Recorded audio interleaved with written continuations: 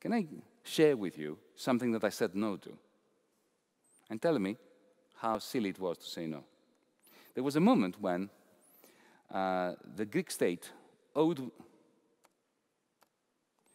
the bankrupt Greek government had to repay 5 billion to the European Central Bank. Don't ask why. We had to repay it. It was due to the silly mistake by Jean-Claude Trichet to purchase those Greek bonds in 2010, which led to Axel Weber's resignation. He was right. It was a very silly thing to do. It didn't help Greece. All that it did was to make sure that all this money that, all these bonds had to be repaid by Greece after they were haircut by 90% at 100% of their value. Anyway, so I had to pay 5 billion to the European Central Bank. I didn't have 5 euros, not 5 billion euros, to give to the ECB, and they knew it.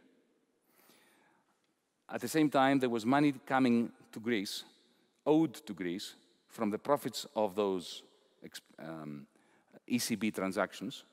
But because we were at, the, at loggerheads with the creditors, all disbursements were interrupted,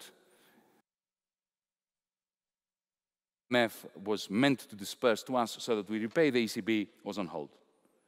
So I said to them, okay, while we are negotiating, until we reach an agreement, let's simply have a, a moratorium. You are not dispersing to us, we're not repaying to you.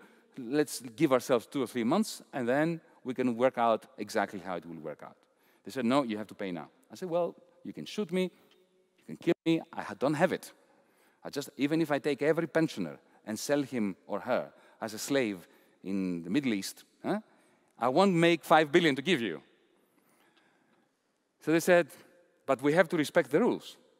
I said, okay, how do we do that?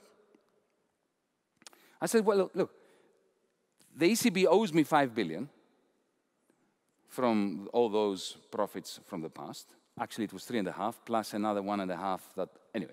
There was some money owed. I said, well, why don't you pay yourselves? No, no, that's against the rules. Can't be done. So okay, so you give me a plan, hmm, a suggestion for respecting the rules. And here is what, I, what they came back with. This is verbatim, ladies and gentlemen. Okay, he said, Minister, you've got to ask the Greek banks, the bankrupt banks, huh, to issue IOUs worth 7 billion, with a face, value, of 7 billion. But I said, yeah, but who, you know, I mean, I can write piece of, on a piece of paper that this is worth 7 billion. It doesn't make it worth 7 billion. He said, oh, that's okay. Because then they will bring them to you, to those, those IOUs, IOUs to you, and you will guarantee them. I said, yeah, but I am bankrupt.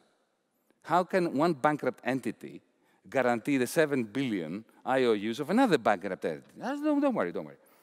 Because then they will take those IOUs that you have guaranteed to the Central Bank of Greece, which is going to get the okay from Frankfurt to lend 5 billion using the 7 billion IOUs guaranteed by the Greek state as collateral.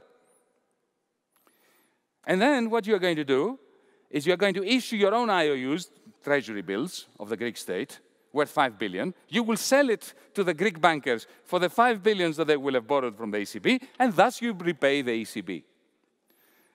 Ladies and gentlemen, have you ever heard of the term Ponzi scheme? If this is not a Ponzi scheme, I do not know what is. I'm giving you an indication of that which I meant by throwing good money after bad. Because you see, after this cycle is completed, the Greek state owes more. Huh? Because there is interest to be paid in every step of the transaction. And who is going to foot that bill?